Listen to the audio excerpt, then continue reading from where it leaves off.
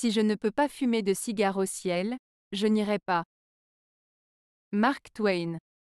Cette citation est une affirmation ironique de l'auteur et humoriste américain Mark Twain, qui aimait fumer des cigares. Il exprime qu'il préfère rester sur Terre et fumer des cigares plutôt que d'aller au ciel s'il n'est pas autorisé à fumer. En d'autres termes, pour lui, profiter de ses plaisirs personnels est plus important que la perspective d'aller au paradis.